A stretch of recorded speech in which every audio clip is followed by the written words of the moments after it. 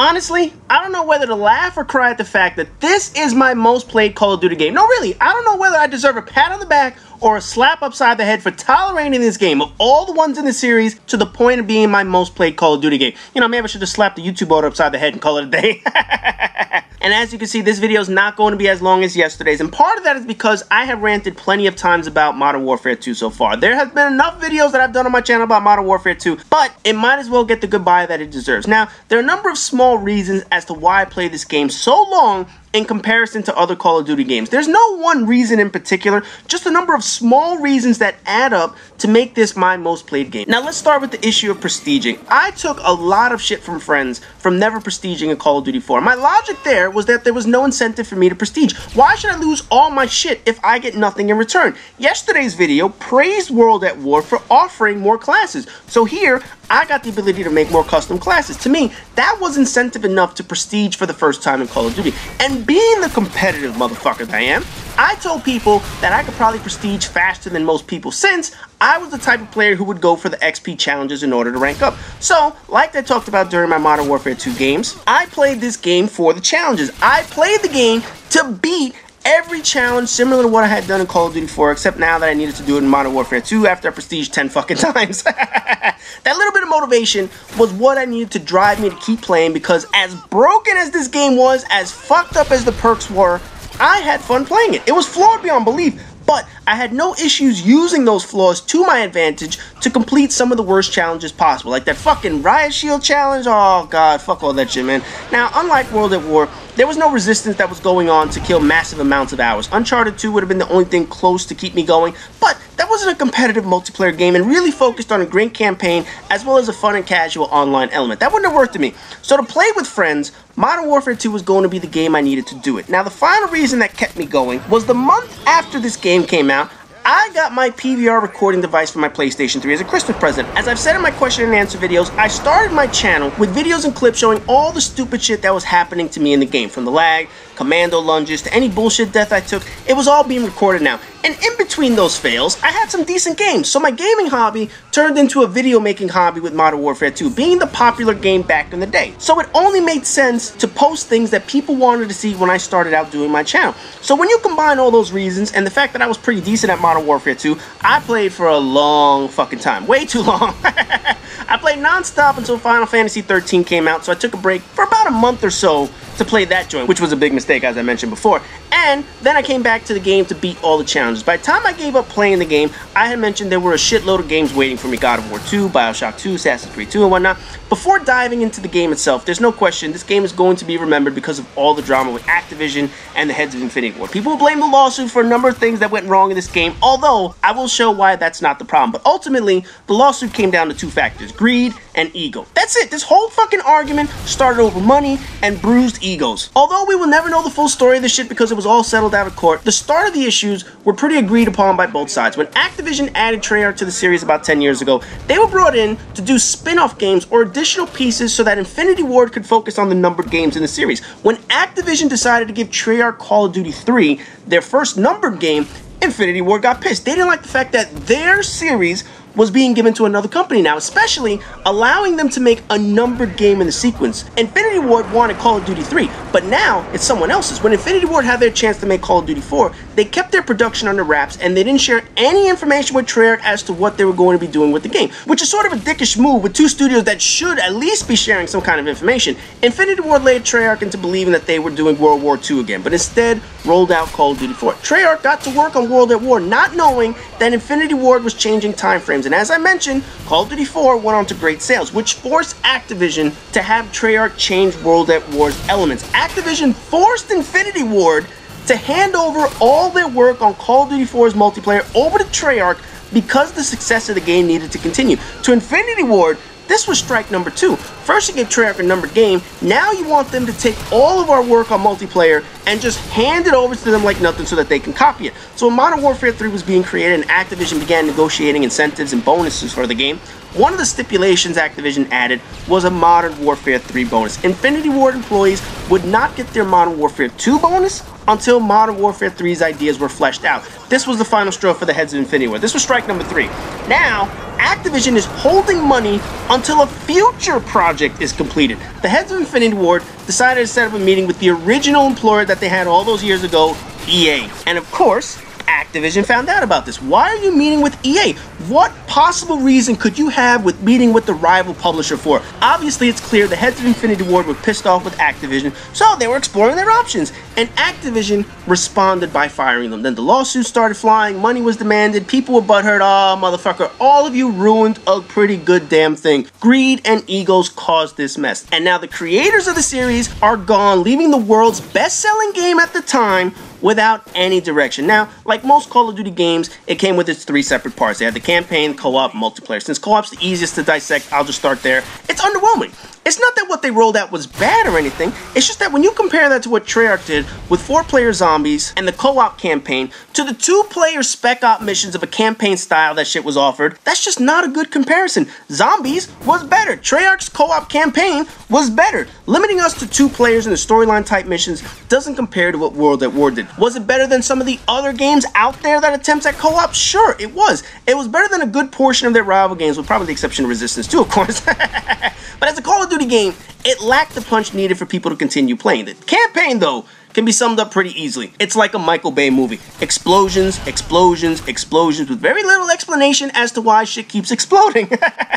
Call of Duty 4 told a fascinating story, and Infinity Ward wanted to continue that narrative with Soap and Price surviving the events at the end of Call of Duty 4. Zakhaev was killed, so they needed a new bad guy, and in steps in Makarov. Did any of the explanations make sense? Of course not. Did the game make it seem like Russian people were idiots? Of course they did. But the impossibilities didn't stop there. No, no, no, of course not. After the controversial no Russian scene, which I'm going to talk about in a minute, the plot becomes just a hot jumble mess. Intelligence tracks Makarov's weapon deal all the way to Brazil based off of a fucking bullet ballistic? Holy fuck, really? I mean, really? Yeah. Since when do we gain the intelligence to track a bullet to the person who sold it? Illegally, no less. If that shit was real, how the fuck have we not rounded up all the illegal gun trades in the world? Eh, you know what? I'm not even gonna get into that bullshit. In any event, you had to go to Brazil because why the fuck not? After all, it makes it look pretty cool for a goddamn multiplayer map. After that, you find out that Makarov has an enemy in a Russian gulag. So, of course, you have to go there and blow the shit up. Who do we find? Captain Price. Well, fuck me. How does this motherfucker get there? Who knows? Who cares? Storming the gulag was some cool shit, right? I mean, who gives a flying fuck if this shit makes any sense? We have explosions in this motherfucker, man. Now, Price goes batshit crazy and he wants to detonate a nuke in Washington, D.C. because that's just so fucking easy now, isn't it? Since the Russian separatists managed to build an army strong enough to invade the US, another serious what the fuck moment that has no logic, Price's answer is to set off a nuke in the atmosphere to disable Russian communications. Yep, that totally makes some fucking sense right there. After setting off the nuke, saving the White House, and pushing the Russians all the way out of the capital, we still had to track Makarov. But wait, the dude in charge of the whole military set up this entire bullshit. He was the mastermind behind all of this. You know, because major generals in our military have aspirations of letting a crazy man take over the country in order to make themselves look better by saving it. Come on, man. End of the story. You kill Shepard with a throwing knife while Makarov gets away. That plot had more bullshit than a fucking cow farm, man. You can't be kidding me with all that bullshit. Now, many people have tried to say that the problems with this game were in relation to the lawsuit between the Infinity Ward founders and Activision, but that came out in March, four months after this game was already released. The mass exodus of employees didn't affect Modern Warfare 2. The shitty story was already a shitty story and being sold to us. The shitty and incoherent campaign had nothing to do with the lawsuit. The only thing the lawsuit affected was the support for Modern Warfare 2 and afterwards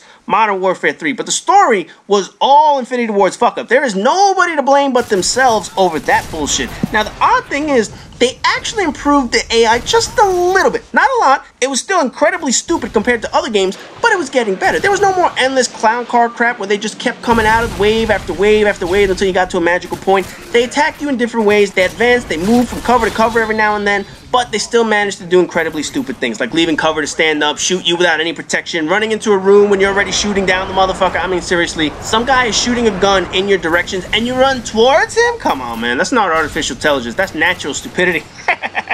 Now, the last thing to mention before getting into multiplayer is the no Russian scene that I alluded to earlier. It wasn't needed at all. I mean, it was meant for shock value, there's no question about it, Personally, I played it, I had no issue playing it, and I actually opted to wildly shoot in the air nowhere near any of the civilians just to see if that would cause any reaction from Makarov himself. Since I didn't play the campaign until months after I bought the game, I already knew what was going to happen, so I spent most of my time in that mission just fucking around. Now, I know Infinity Ward puts us in the game to make it seem like you have a tough moral choice. Do you continue the charade of killing people, or do you take the moral high ground? Personally, I thought the controversy was blown way out of proportion. I mean, I'm sorry, but let's be real for a moment. We kill countless numbers of enemies in shooter games, and our only reason is that the enemies have guns and they're trying to kill me, so they must be the bad guys. That's it. That's the gist of every fucking shooting game. Meanwhile, we have games where you kill cops like Grand Theft Auto, assassinating people in Assassin's Creed or said to be bad, and kill pretty much anything in a Saints Row game. The characters in the airports are meaningless, non-playable characters. The game gives you the option of shooting them or not shooting them. And ultimately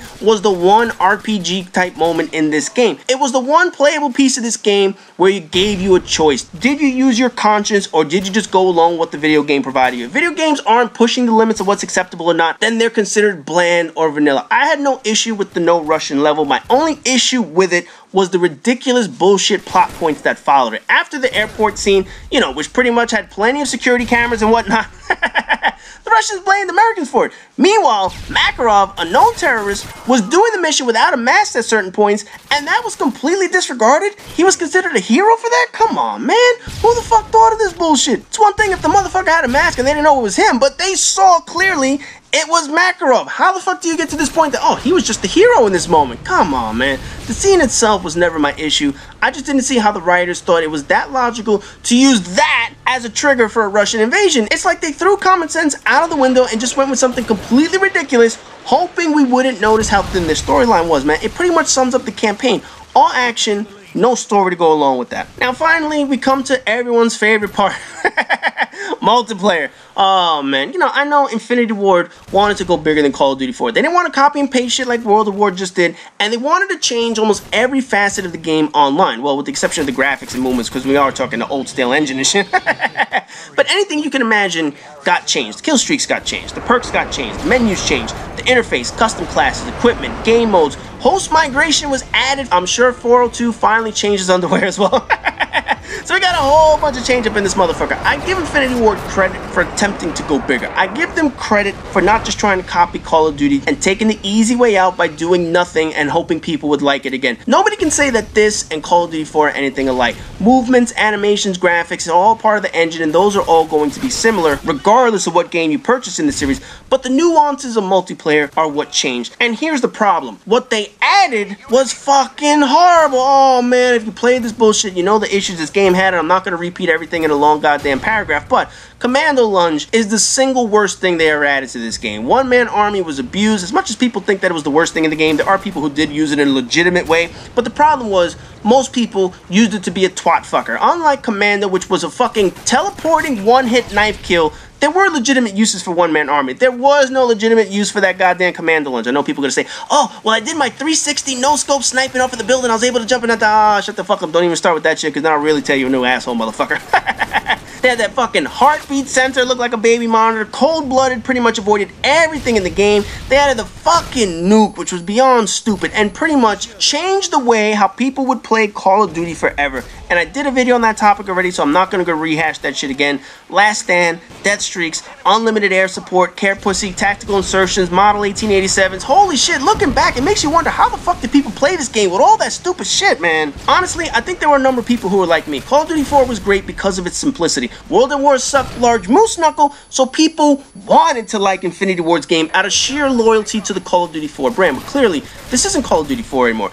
Bigger isn't always better. And the funny thing is that this game could have made a few easy fixes to their shit, but it never happened. Commando should have never been in the game to begin with. We know that. But One Man Army could have been restricted. Remember in Call of Duty 4, if you put on a noob tube, perk 1 was disabled? Well, how come they didn't offer that here? Noob tubes would have disabled perk 1 and one man army would have never been added to someone's class. If you did something similar in one game, it should be pretty possible here. The funny thing is, in an interview before this game released, 402, the community manager at Infinity Ward at the time, he referenced the idea of a public beta or demo and said there wasn't a need because their internal beta showed them all the data they needed. Really? Who the fuck thought Commando was a good idea? Who the fuck thought death streaks were a good fucking idea? Certainly wouldn't have been those MLG douchebags who seem to get invited to those things. So clearly the assholes that got invited to the beta failed to do their fucking jobs. Now, you also had a shitload of glitches that piss people off in this game. The Javelin glitch is, of course, the one that comes to mind. Unlimited care packages comes to mind. The 10 prestige hack lobbies. The morons wanted that spinning badge or whatever the fuck. By the way, what was the deal with the spinning badge? I mean, last I heard, it was some kind of glitched emblem that Infinity Ward forgot to turn on or whatever the fuck. So the only way I'm unlocking it right now is to hack the game. I'm not sure if that's true or not, but obviously I never got that motherfucker, so I really don't care. But if anyone knows what the fuck the deal was with that spinning badge, feel free to let me know in the comment section, I have no fucking idea what that shit was. But anyway, all the bullshit this game provided, all the shit that Infinity Ward put in the game made for some entertaining YouTube footage. Let's be honest, from fail volumes to good clips that I would get to hunting down the boosters, hiding in corners around the maps trying to get their goddamn nuke, to surgically inserting a noob tube up someone's ass for pissing me off. Oh man, it was fucking funny. When we were playing Modern Warfare 2 back in the day, I recorded these games for the Goodbye PlayStation 3 series, and I warned every motherfucker in the room, if I got hit with one-man army of noob tubes, I was gonna bust out my pro pipes and I was gonna make kids cry. The few times that I had to do that shit, people left the room. I am fucking telling you, man, I am lethal with explosives. You give me some shit that blows up, I will fuck some people up. so those who used that shit against me when we were actually playing the shit in the open lobby, whatever the fuck, I fucked people up with that shit. But anyway, man, all this crap had in the game either forced you to use this shit or find ways around it. I had a class called Commando Proof that had the SPAS shotgun and a heartbeat sensor. That way I could bust a motherfucker one shot if they ever got into commando range and shit like that. I had the pro pipes for anyone that wanted to fuck around and use theirs. I had classes to take out air support. I had classes to hunt down boosters. I had everything you can imagine to combat the stupid shit this game threw at you. Because of the majority of the time you died, it was from stupid shit, not from someone killing you with actual skill. Now, as we all know, and I mentioned this before, the lawsuit with Infinity Ward and Activision came in at March, but by that time the game should have already been fixed. The issues this game had could have easily been resolved, but clearly Infinity Ward was incompetent at fixing all their fuck-ups. They didn't take the time to properly test all this shit out before releasing it, and certainly didn't take the time to unfuck the game after they already fucked it up. By the time the lawsuit hit, that was pretty much the final straw for this game. We ended up receiving two DLC packs, just one after the lawsuit and shit like that, and only minor patches after that to adjust the stability of the game. Support from Infinity Ward was minimal from the beginning and became non-existent after the lawsuit. But the issue with the lawsuit didn't affect Modern Warfare 2 as much as it affected Modern Warfare 3. And obviously I'm going to talk about that in my own video when it comes up on Friday. In the same way I mentioned at the start of this video, should I pat myself on the back or slap myself silly for this game? The same logic applies to Infinity Ward. They created something bigger, but not better they introduced a number of new things to the series, including some of the most iconic items like AC-130 as a kill streak, or that stupid ass nuke that seems to linger on forever like fucking herpes in all their future games. To say that I didn't have fun playing Modern Warfare 2 would be a lie. To say this game wasn't frustrating, that would also be a lie. In all honesty, I had fun playing a flawed game. I tolerated it to the tune of being my most played Call of Duty game, and I posted up plenty of entertaining shit because of this game. With all the bullshit this game had, all the fixes future games had to make to avoid making a game unbalanced, there's no denying it had a fun factor that just can't be replicated. There's a certain fun to the ridiculous shit this game offered, and if you found a way to manage all that bullshit in the game, you probably managed to find a way to make some fun out of this bullshit. As flawed as this game is, I can't lie and say I did have fun playing it. I have to put it right behind Call of Duty 4 as one of the better games that I played, and not because it's a good game, it's because the games that are coming up in the next two videos are even more fucked up than this game. And with that being said, there are now three videos down and only three more to go left with Call of Duty. well, two more this week and one next week. But obviously, the next two videos coming up, oh, the rage is going to return. The rage for the next game is coming back. I can feel that shit already pouring out of my soul. So as always, rate, comment, subscribe, and all that good shit. And the rage is coming back tomorrow. I guarantee it.